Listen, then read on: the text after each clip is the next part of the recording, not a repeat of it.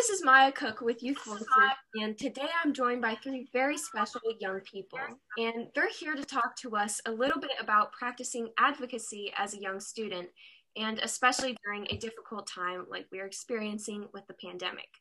So, everyone, would you please introduce yourself with your name and then give us the biggest thing that you're passionate about? Devon, do you want to start us off on that? Um, sure. Okay, so my name is Devon or Days, that's my rap name. And um something that I'm really passionate about is of course what I'm doing right now, fighting for equity and equality and social justice. And I'm also really passionate about making music and just like the art of it.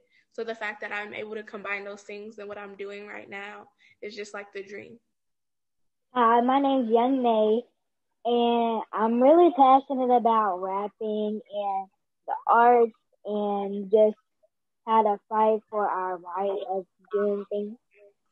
Hello, my name is Amjanae, but you can call me Nate, but my name is Amjanae. And something I'm passionate about is our voices being able to get heard from all over in different ways and to set the right mindset of kids just like us also. Mm-hmm. And that's so important right now. And so, well, it's so great to meet you guys, and I'm so happy to have you here because I know you've done a lot of work on the subject of advocacy. I know you guys are still young, but you've still done so much for it. So, we're talking about advocacy. So, my first question for you is well, what is advocacy and what does it look like? Well, I'll answer that question. Advocacy is when you're standing up for your right and when you're fighting for something that you really believe in, like racial and social justice. Mm-hmm. Yes, and that's especially important right now with everything that we've been seeing. So, we've seen great social unrest in Louisville. And this summer, as you guys know, you know, thousands of people took to the streets to protest police violence and demand racial justice through advocacy. So, living as a kid during this time, if Louisville is your classroom and justice is your curriculum, how do you educate yourself on what's happening around you? Um, I answer um, that one too. Edu- oh, I can answer that. You can answer it if you want. Yeah, both of you. Go ahead.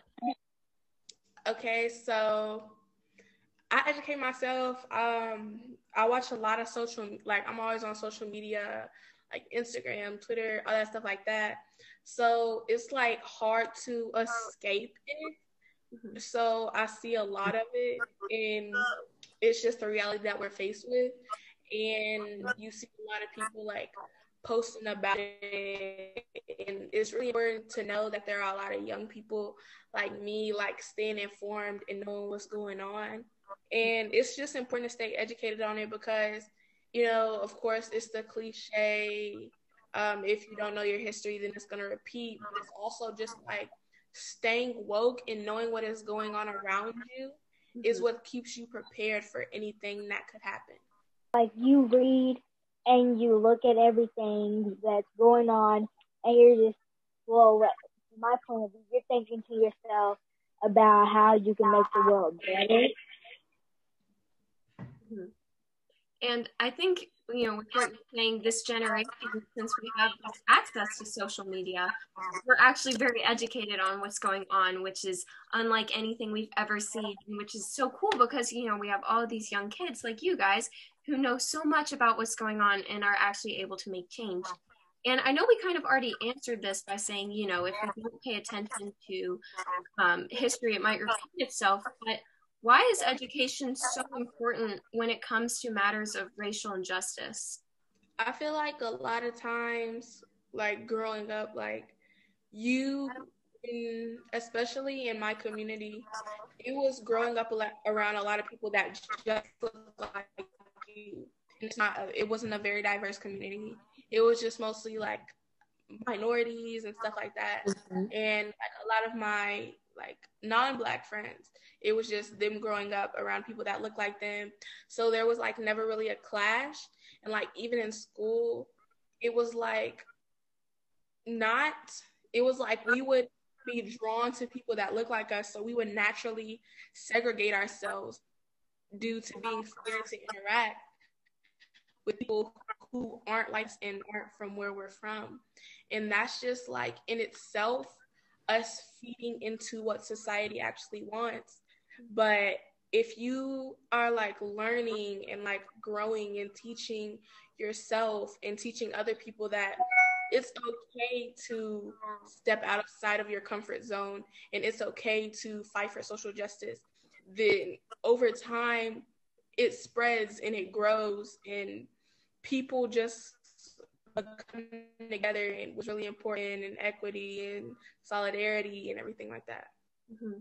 that is beautifully said and you know having that diversity is so important and that inclusion and that sets up an environment where people are comfortable having these uncomfortable conversations. Um, so that kind of leads us into our next topic. A lot of people don't want to get involved in the movement towards racial justice because they are uncomfortable with these difficult conversations. They're afraid of speaking up, or they claim that they're apolitical, which means they're not interested in politics. Um, so, what's dangerous, though, about staying silent on issues that we're seeing in our communities? um, it's dangerous because if you're not speaking up, it's basically like you're doing it too because you're not speaking up about it. So it wouldn't make sense if you don't speak up about it. I would get if it's like your religion or something or something like that, but it's important because if, like say you were that person and you're getting like stuff happening like that to you, you want people to fight for your justice is as much as you need as just as much as people need you to fight for theirs. And I agree with that because sometimes we need that extra boost of help and what we're going through right now. Like we really don't have we have a lot of people on our side, but we need more support than when we're fighting for what is right, basically. So I'm agreeing what she said. Everybody needs to have their own voice in like a saying or something. So yeah. And we need a whole community to come together. And I think you mm-hmm. bring up a good point that if you're just a bystander, then sometimes you're just as good as the person, mm. the aggressor. I agree. It's like I would like you see so many people, and it's so heartbreaking when you're like, oh, do you support Black Lives Matter? Or they're like, oh, I don't support Black Lives Matter. Or, oh, why do you have to make it political? Yeah. And am I? And it's just like being a Black person in society and getting your rights taken away and getting your life taken away because of the color that you are is not a political subject. It's a life or death mm-hmm. matter. Basic human rights should not be political. And if you're uncomfortable with that situation, then there's something wrong with you. Absolutely. Basic human rights should never be politicized. And I think a problem that we see right now is a lot of adults um, or politicians try to make this an issue to get leverage on certain things. But it's like, come on, you know, like we really need to get to the root of this, which is the issue of human rights, which is definitely lacking right now. Um, so I think that was beautifully said, and I appreciate that you brought that up. And, you know, we've talked about people who don't want to be a part of these difficult conversations, but there will also always be people that disagree with your message, kind of like you were saying. So, my question is as a young person, what are some of the things that you can do to create a safe environment where you can have really serious conversations with people in your life that might disagree with you? So, how hmm. do you do that? how I would do it in my perspective, I would like how I'm doing now, use my voice to get to other people that has the right my mindset and or is trying to follow in other people's footsteps. Which means basically even adults, like I can even try to get adults to help, stuff like that. Try to get them in the right mindset of what we're trying to put as a picture on us and not how people see us. So making a right picture for who we are and what we represent and what we're saying. So I see a lot. I feel like it is important to, you know, speak to people who don't agree with you. And there are some people who like take time and talk and just not learn to not pounce on them. which I see a lot because people get tired of the, you know, nonsense and like being annoyed by people disagreeing with the fact that they do deserve basic human rights. But I've also seen where there are black people who shun away people in the white community because they because they face this emotional labor of having to re-educate on the same things over and over and over again. But sometimes it's just like it's like oh you as a black person how do you feel? But it's like there is a phone, you have a laptop, have a computer, you have this, you have that, you have news, you have social media. You should not have to come to me just to know firsthand that I deserve basic human rights. There's literally Google, and you could like Google that stuff. Now, if you want to have a one-on-one conversation about oh how I how the protest made me feel or how I felt about the passing of Breonna Taylor and Floyd and stuff like that. That's an entire different ball game.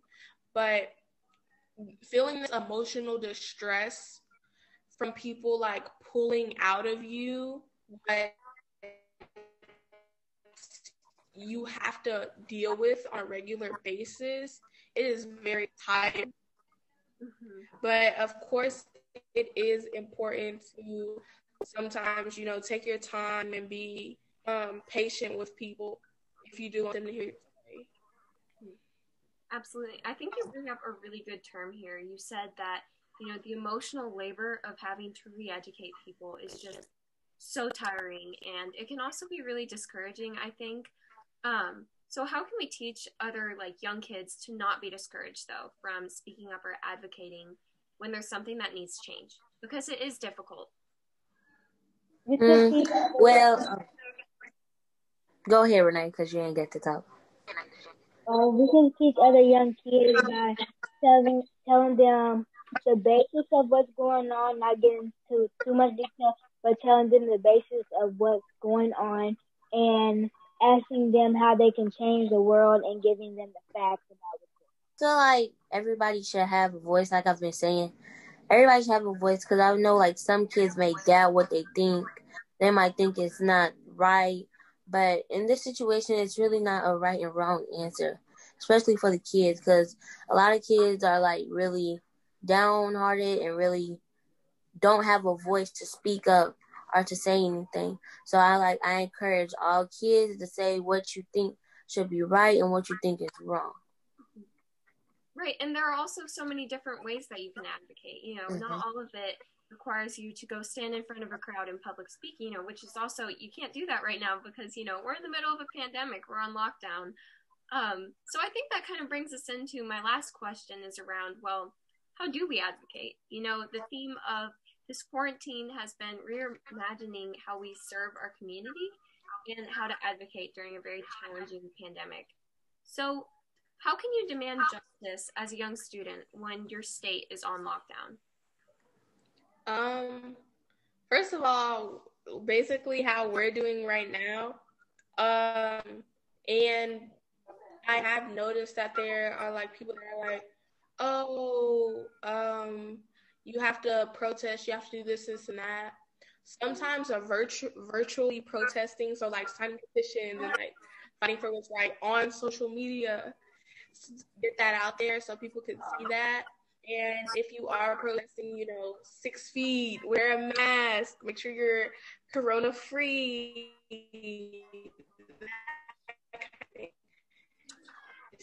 Just like if you're going to fight for what's right, it is also very important for you to take the necessary precautions to make sure that you're keeping yourself safe while fighting for justice. And also, like making music, which is what we've been doing over the course of the past five or six years, and what we've really been focusing on a lot this summer. Mm-hmm.